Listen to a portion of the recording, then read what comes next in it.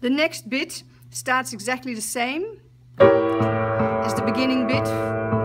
So with six of those A's, we're gonna move on to the D inverted D minor chord. One, two, three, four. On our five, six, we're still doing the five, six, and then we're playing the we're playing these two notes just again. One, two, three, four. On your five, six, you're playing the D and F again. So we've gone.